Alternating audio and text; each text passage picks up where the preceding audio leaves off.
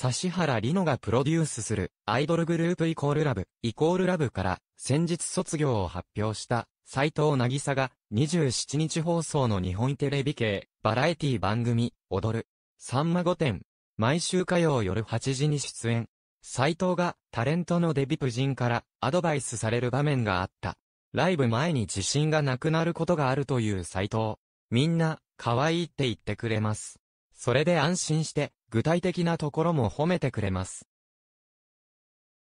まつげがくるんってやがってて可愛いねとか、とスタッフに具体的に褒めてもらうことで、やっと自信を持ってライブのステージへ迎えるのだという。すると、斎藤をまじまじと見たデヴィ夫人から、良くないわ。これ良くない。鬱陶しいと斎藤の前髪の両横の毛束が可愛くないと、具体的に指示が、周りの意見に敏感だという斎藤は、じゃあ切ります。言われたらすぐに変えるのでと、デヴィ夫人からの指摘に、笑顔で頷いた。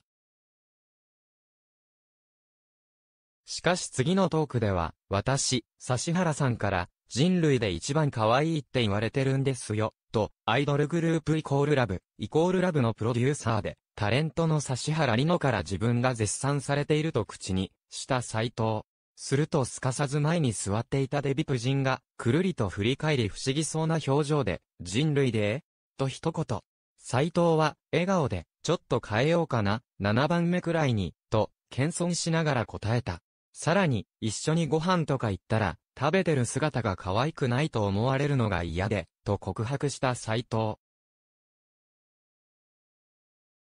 すると、デヴィ夫人は、あなた、大丈夫？と今度は、心配されてしまうことに。斎藤は、可愛いキャラクターの中で一番だと思っているため、可愛く食べたりとか、可愛いって思われないような行動をしないようにこう、いろいろ、と常に行動に気を使っていると説明。が可愛いと思う食べ方を、スタジオで再現したものの、サンマから、可愛くないでと感想を言われると、斎藤は、不思議そうな表情を見せていた。